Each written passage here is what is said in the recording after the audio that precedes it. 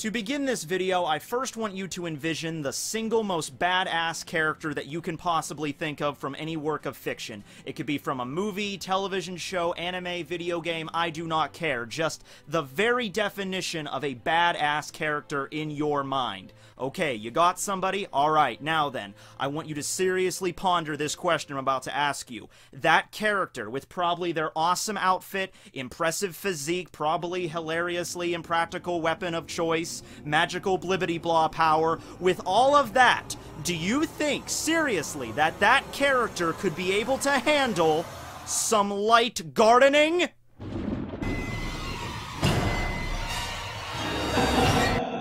I know, right? I know a lot of you right now, you might not want to admit it, and that's fine, but I know a lot of you right now are like just slapping your knees, like, Damn Tekking, you're right. I'm sorry. I don't think Guts from Berserk could handle a lot of uh, light gardening. I'm, I'm just assuming Guts is what uh, in, appeared in a lot of your minds when I said that. Um, I mean, yeah, he, he's really badass on the battlefield, but, you know, he's out there, you know, planting some posies or whatever. He looks up, the sun hits his head. He doesn't have any proper protection. Guts is going down from heat stroke. You know, Cloud Strife, he's got that badass Buster Sword that's pretty handy to de-weed your garden, but when push comes to shove, he's gonna have to go inside and get a drink of lemonade. You know what I mean? Um, that is why, whenever you're going to have a serious badass character from any anime or manga, any work of fiction, really, they need to have some head coverage. And that's what we're talking about today. We're talking about Monkey D. Luffy and his signature hat! I think this is wrong. It looks cool, but I think it's wrong. Okay, hold on a second. Signature hat! This one just makes me think of a lot of death that could have been easily avoided. Signature hat! Getting closer. By the way, these goggles are not even functional. Not quite there yet. Um, oh, here we go. Okay, here we go. Signature hat! Would it surprise any of you if I told you that this doesn't even include, like, 10% of all the funny hats that I own? okay. This is gonna be a video talking about not just the Straw Hat in the actual series, like passed down from Gol D. Roger, King of the Pirates, to Red Hair Shanks, who passes it down to Luffy, and the significance of the Straw Hat in the story itself, but also the symbolism, like what the Straw Hat actually means in the greater context of the story, okay? And because we're going to be talking about that, this is open to interpretation, okay? Um, I'm sure many of you have different views on what the Straw Hat really represents. All I can give you is my opinion on this. Um, but there's certain traits from storytelling that authors usually include when they uh, give their main characters some sort of marking. Um, and I, I, remember very distinctly back when I was in high school, I had an advanced uh, English class that I took, and uh, our, our English teacher was a great. She was this older woman, but she was so good at you know teaching us about like English and literature and all that stuff. And and she mentioned one class period about the uh, the practice of marking the main character of your series. Uh, and for an example of this, she used Harry Potter. Do you think J.K. Rowling just gave Harry that scar just because it looked cool? Um, and of course, I know in the context of Harry Potter how he actually got the scar, but no, why did J.K. Rowling actually give Harry that scar? And it's to mark him to mark him as special, as unique, as like essentially marking your main character as the main character of the story. Now, this cannot just be done with a physical marking like a scar, although Luffy also does have a scar. Um, but uh, his scar is not really significant. Like Harry Potter's scar is extremely significant in the story. Luffy's scar is just there as just like a testament to, um, you know, how, how, when he was a kid, he wanted to show how strong he was and how tough he was, so he stabbed himself in the face, you know. And by the way, that one scene of Luffy stabbing himself, I think that's always been edited out of every like rendition of that. I think except from one. I think the episode of Luffy is the only rendition of that that actually got it right. That actually showed a, a seven-year-old kid stabbing stabbing himself in the face with a knife. Now that I think about it, probably best that was left out of the mainstream anime. Um, but no, in, in, the in the case of Luffy, it's not a physical marking. It's a uh, it's a piece of clothing that he wears. In this case, it's the straw hat. And uh, one thing that I really enjoy that Oda did, and not just not just Oda, but any author, is taking just a normal object in everyday life, like something that you wouldn't even think of, something that you would pass by in a store or you'd see somebody wearing. It's just a trivial object, you know, but they take that and they make it something that's truly symbolic and something that's iconic of a certain character. I will never look at a straw hat for the rest of my life and not think of Luffy, unless at some point I don't know I end up getting hit by a bus and and, and all the information, all, all the things from One Piece just get you know removed from my you know brain after the intense trauma I've just suffered. But beyond that, you know, very unlikely series of events occurring, um, every time I see a Straw Hat, I'm gonna be thinking of Luffy. And even in this Straw Hat right here, this is not this is not an official One Piece Straw Hat. You could probably tell by the nice little bow on the back of it. No, this is something I just bought at uh, the Dollar Tree where I work. You know, uh, one day it was summertime, and my boss is like, you know, put out these boxes, and I open up the boxes, and they were sun hats, and they all had different colored ribbon around it. And lo and behold, I'm like, oh, is there a red one? And I'm like, bam, right there, looks just like Luffy's straw hat. Right.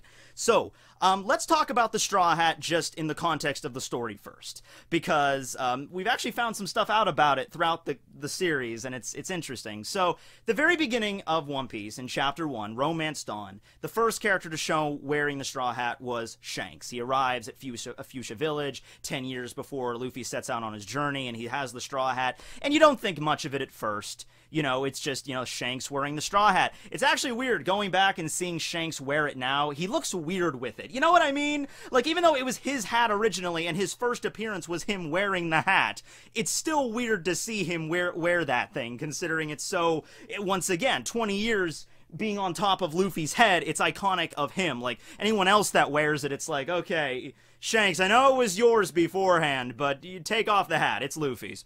So, um, after the events of Romance Dawn, after Luffy proves himself, of course, and then he gets kidnapped by Higuma, and then uh, Shanks has to go and rescue him, and he loses an arm, and he's about to depart. Uh, he takes off the hat and passes it on to Luffy and says, you know, you give me back that hat when you become a great pirate. And right there. That was the impetus, right there in Luffy's life for him to become a pirate. Um, this was the earliest point in Luffy's life that we've really explored uh, when he was uh, seven years old.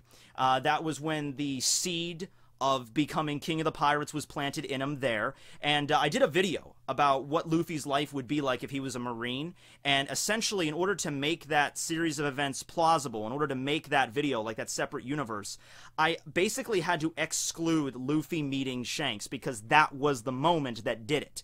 Um, Garp was raising Luffy at that point, so uh, if he never met Shanks, Luffy could have very well have just, oh, okay, well, Grandpa wants me to be a strong Marine, so I, I you have no other reason to not become one, so you're going to become a Marine. So that's really what did it. And Luffy is a man that is very loyal to his principles and to pr- his promises. Okay, when he says that he's going to make a promise with somebody, he's going to try his utmost to keep it. And if he can't keep it, that is something that physically and mentally just it really damages Luffy. Like seriously, because Luffy's such a fun-loving, carefree kind of guy. And, you know, I think a lot of times, and this is probably the most known for Sabaody, what happened at the end of that arc when the Straw Hats were separated. But when Luffy meets somebody or, you know, he wants to make a promise with somebody, he's always very cheerful. It's like, oh yeah, don't worry, you know, come, come sail with me and we're going to become king of the pirates. I promise you, it's going to happen. And, and, you know, we'll all be together and it'll all work out and we'll all be friends, we'll all be Nakama. And then at the end of Sabaody, when he failed, you, Luffy was a wreck after that. Like, he just broke down crying because it's just like, oh my god, it wasn't supposed to be like this. You know, we weren't. What? No. Right? So, he's somebody that's very loyal to that end. And so, that promise that he made with Shanks, he is going to try to keep it no matter what. And this hat represents that promise. Okay? So, what the Straw Hat means for me unbroken promises and a never ending dream. Those are the two things that I would associate most with this. While it's on Luffy's head, and because Luffy is the one that's the most famous for wearing it, it represents that promise. Overall, you know, the promise to become king of the pirates. He who wears this hat will become king of the pirates. Basically, that's the gist of it. Um, in a grander context, it represents the undying dream. Because look at the lineage of the hat. Who owned the hat before Luffy? Shanks. Who owned the hat before Shanks? Roger. And by the way, where did Roger get the hat?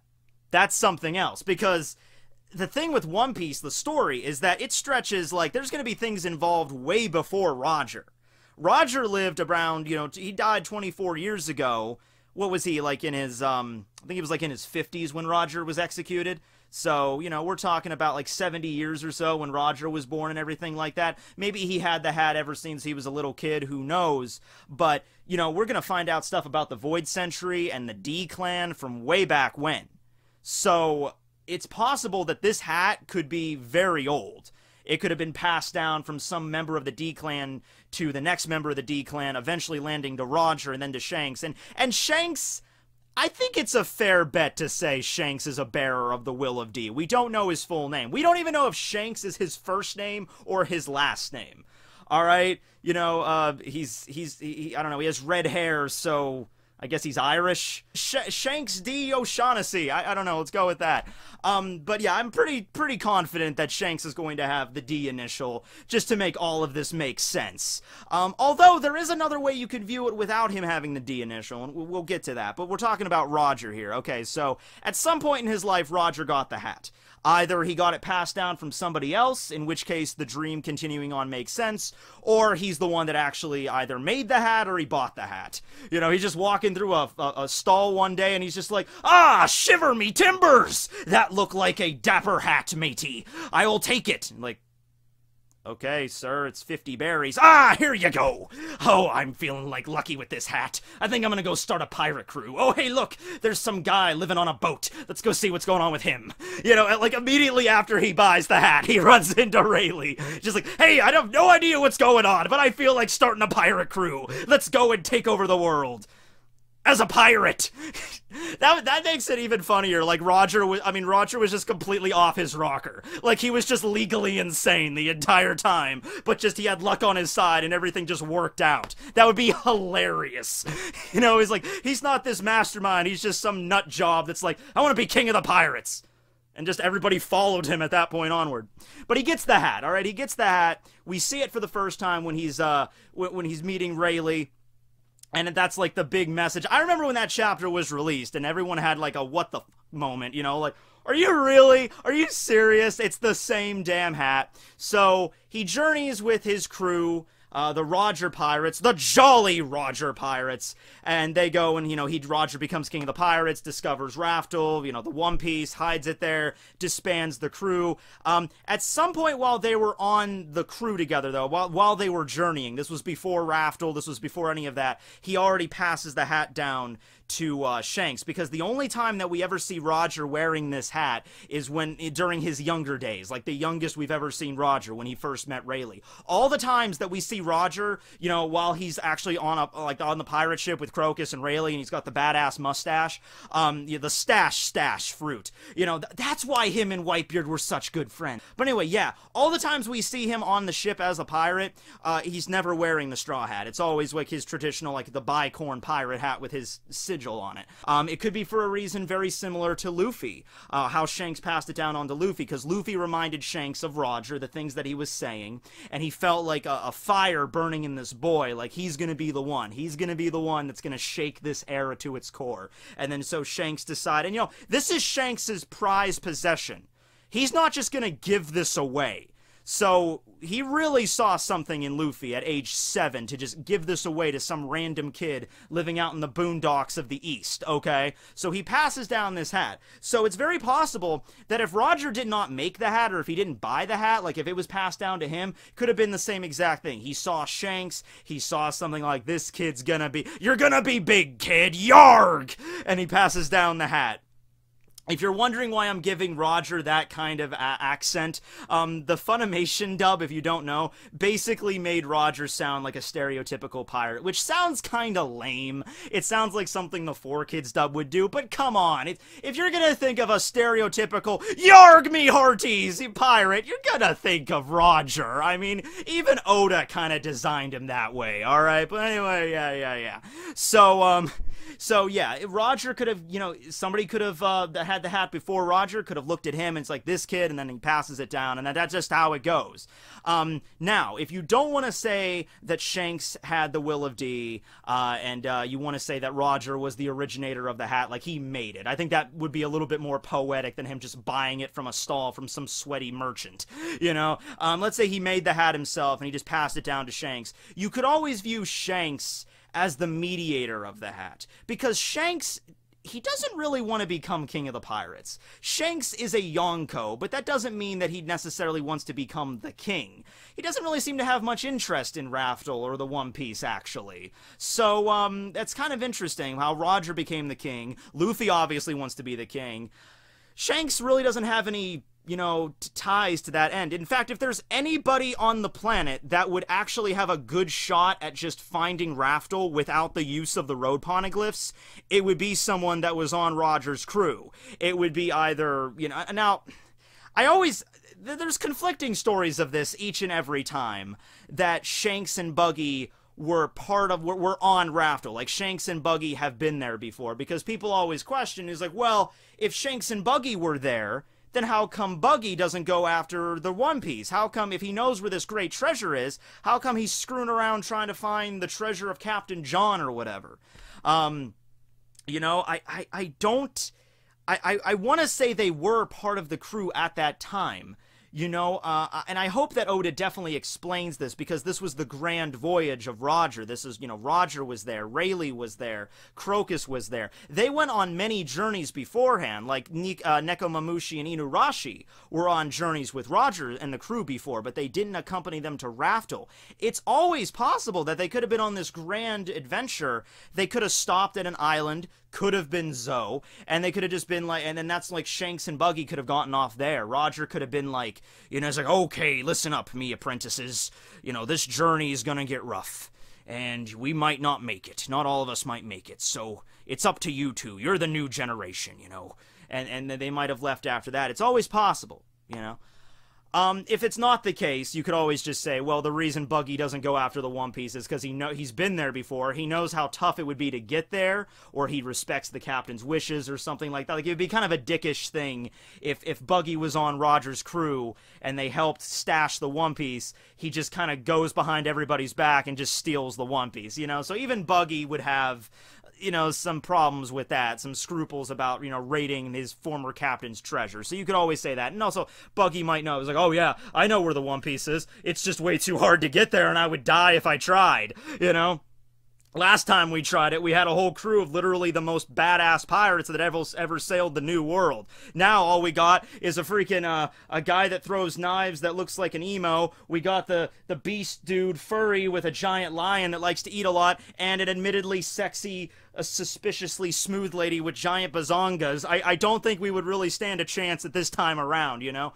Um, Right, so that that could be a reason there. Um, but I just, I, I even if even if Shanks was there or wasn't there, he has a good shot because he actually already sailed with Roger, all right? He would know what Roger would do and, you know, maybe like things like that. But Shanks doesn't really seem to have any interest in that shit. Kaido and Big Mom and Blackbeard certainly do. Well, Blackbeard's goal is just to try to kind of take down the entire government. But, yeah, probably become king of the pirates along the way, just a lot more bloodshed. Kaido and Big Mom definitely want to become king of the pirates. Shanks is just chilling out. So you could just say, yeah, Shanks doesn't have the D. He was just a mediator to hold the hat between Roger and Luffy. Okay, you could you could view it like that. Um, Um, but that brings back the symbolism, at least, of the un the undying dream. It will always continue on, and maybe not necessarily the dream of just becoming king of the pirates, because remember, the will of D also carries with it its own kind of thing, which is separate from being king of the pirates. Although it could be included with that, the objective of the will of D is they are the enemies of God who are God in the context of this, you know, One Piece world, uh, the Tenryubito, the Celestial Dragons, um, taking down the world government. I would say that's the overall goal of the Will of D. There's probably a lot of other stuff involved there that we don't know about, but um, yeah, the the bearers of the will of D are going to be the ones to take down the world government. It could be in the way that Blackbeard wants to do it, which is you know sheer destruction and bloodshed, or it could be the way that Luffy would do it. Luffy would probably just become king of the pirates, and Luffy just kind of wants everybody to be free. Luffy's not into the kind of ruling thing. Like Luffy's not going to become king of the pirates, sit up there on a throne and just issue orders. That's not what he's about. He wants to become king of the pirates because king of the pirates has the most freedom, and he probably wants the most freedom for the rest of the world. Okay, and just just in response of that, and from what they did with Robin and everybody, that he has to take down the world government. Okay, so the hat can also represent that as well. Now, um, I also kind of would be remiss if I did not bring up the sheer indestructibility of this hat. This hat might have permanent armament haki of the gods bound to it. There have been theories, I shit you not, actual theories, that this hat has the power of a devil fruit in it that makes it indestructible. Okay? there are actual theories about this. I'm not even saying that because I think they're silly. I just think that's awesome, you know? Because think about this. At the beginning of the first off, the hat has lasted a tenure a tenure atop the head of Gol D. Roger. Do you know how many fights that guy was in? He went up against an entire fleet, one ship versus like a hundred, in the middle of a giant storm against Shiki the Golden Lion. He came out of that unscathed. He found Raftel. You know there was probably a epic battle there at some point. All the other young, he dealt with Big Mom at some point.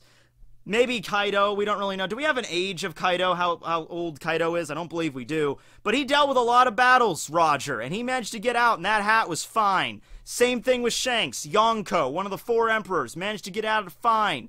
Um, and then, of course, we get to Luffy. Luffy, for the beginning stages of his journey, did not even have a freaking rope tied around this thing. Which makes me think that Roger and Shanks didn't have it either. You know, at the one of the very first story arcs of the series, Buggy knocks it off his head and impales it with his uh, knives, Thankfully, being a straw hat, it's easily repairable. Nami just took it and stitched the whole thing back up and just gave it to him. Uh, but you'd think it got more, it would get more damage throughout the story, but it doesn't. Eventually, Luffy just ties a string around it and just lets it lay behind his uh, back whenever he's fighting. But all of the crazy fights he's been in, he Luffy's been up against characters. Luffy's been attacked by Akainu, whose literal thing is magma. Granted, though, I don't think the straw hat was on Luffy's head when he fought Akainu if that was the case, I think it would like when Akainu got even close to him, the damn thing would have just combusted. You know, like dry straw, and here's magma heated to like over a thousand degrees Fahrenheit. The thing would just go. Pfft. But this brings up a very interesting point, and um, there's two ways you can view this. The, here, here's the scenario: Is this hat going to get destroyed by the end of One Piece? Now, the one way you're going to view it is absolutely not, because it is the symbol of the dream and just the icon of Luffy. I mean, it's the Straw Hat Pirates, Straw Hat Luffy, Mugiwara. Gotta have the Straw Hat, right? But we're talking at the very end of One Piece, at the point where it's like the final battle or something. Um, you know, beyond that point there, uh, you know, when all bets are off, you know, would the hat be destroyed? And I could see it going like the hat is not destroyed. It might be, it might get charred or like burnt or something, but it's like the the hat lives on as the symbol. Or you could spin it on its head and be the whole like the hat gets destroyed but it doesn't matter because it's it's it's what you know the, the, what the hat meant that really means something the dream the promise the hat was just a symbol that's all it was nothing more um, but I, I, would like to i wouldn't like the hat to be destroyed mostly because um, this hat is like the most precious thing in the world to luffy you know um, and so his whole thing is he wants to become a great pirate that's even greater than Shanks. And since Shanks is a Yonko, pretty much the only higher position there is king. Become king of the pirates and give this hat back to Shanks. That's also another possibility too. Although I, I don't see that going down. I don't see Luffy just walking up to Shanks at the end of the story and just, okay, here's your hat back. And Shanks is like, cool, bro later. I think I think Shanks, if the hat is still around at this point, and if we do have an epic moment where you know Luffy goes to return the hat to Shanks, maybe it's a mirror of that scene when Shanks was bestowing the hat to Luffy. Um, if there's even going to be a mirror of that scene, I think Shanks would just let him keep it at that point. It's like, he'd be like, Luffy, you've worn that hat for like 20, well, by then it's probably going to be like, you've worn that hat for 30 years of serialization. I think you can keep it at this point. You know, I think you've earned it, right? So, yeah, that's the situation. No, when I looked up, because uh, whenever I think of a video idea, I always look up on YouTube, you know, how many other people have made a video about this. Um, you know, because if somebody made a video about this like two weeks ago, I don't want to like steal their thunder or something like that.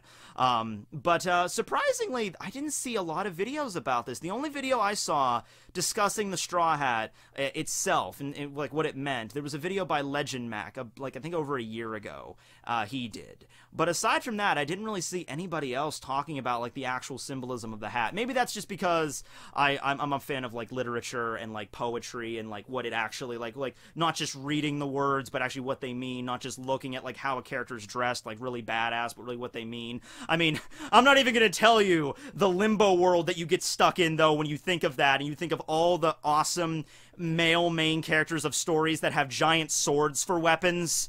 Because guess what a giant sword is like uh indicative of? Phallic symbol hey, check it out, I'm Ichigo. I got a giant sword. Hey, check it out, I'm Cloud or I'm I'm I'm Squall. I got a giant sword. You know, as my main weapon that I grip tightly. So there's there's a double edge to this, you know, of looking into the deeper meaning behind all of these symbols and weapons and things. But anyway, I hope you enjoyed this video, and I hope we have a little bit of a discussion down below on what the Straw Hat means to you, and uh, in the greater context of the One Piece story, and and and uh, really where where it could go at the end of it. Like, could it be destroyed? And then, you know, we, we just, you know, oh, that the dream is fulfilled or something like that. The Straw Hat is no longer necessary because Luffy succeeded. He brought to light the envisioned of the, the, the 900 year dream of the Will of D, you know, something like that. Or if it's still around, he gives it back to Shanks. Shanks just lets him keep it, and that's where it ends. Um, even the stage right before the time skip where we, like, we leave on that, um, that, like, four week gap that we had. Remember that? Or, like, you guys, you know, One Piece fans that have been around for a while, you will remember that uh, after chapter 597, when we begin the time skip into the new world, uh, the last scene is that hat. And we all remember that hat because no One Piece for over a month afterwards. I was in high school when I was a senior when that happened. That was hard to get through that, but we all got through it. Real One Piece veterans know the struggle there, especially since in the anime there was no break. It was just one episode, and the very next episode there's the time skip. There you go. But anyway, yeah, I've jawed on long enough. Um, thanks for watching, everybody, and uh, remember, gotta wear a good hat. Just pick out a good hat when you're doing gardening. Uh, heat exhaustion, sunstroke, it's not fun, guys. It's not fun. Wear a straw hat dollar at Dollar Tree. Pick them up. Signing out.